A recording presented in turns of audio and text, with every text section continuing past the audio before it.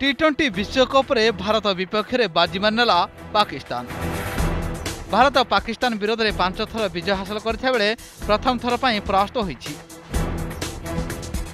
ଭାରତ ପକ୍ଷରୁ ଦିଆଯାଇଥିବା ଶହେ ବାଉନ ରନ୍ ଟାର୍ଗେଟକୁ ଗୋଟିଏ ବି ୱିକେଟ୍ ନ ହରାଇ ସତର ଓଭର ପାଞ୍ଚଟି ବଲ୍ରେ ହାସଲ କରିନେଇଛି ପାକିସ୍ତାନ ଟିମ୍ ଟଚ୍ ହାରି ପ୍ରଥମେ ବ୍ୟାଟିଂ କରିଥିବା ଭାରତ ପ୍ରାରମ୍ଭିକ ବ୍ୟାଟିଂ ବିପର୍ଯ୍ୟୟ ସାମ୍ନା କରିଥିଲା ହେଲେ ସ୍ଥିତି ସମ୍ଭାଳି ନେଇଥିଲେ କ୍ୟାପ୍ଟେନ୍ କୋହଲି ଓ ରିଷଭ ପନ୍ତ କୋହଲି ଦମଦାର ଅଧ୍ୟସ୍ତ କରି ଉଭୟ ଦଳର ସ୍କୋରକୁ ସମ୍ମାନଜନକ ସ୍ଥିତିକୁ ଆଣିଥିଲେ।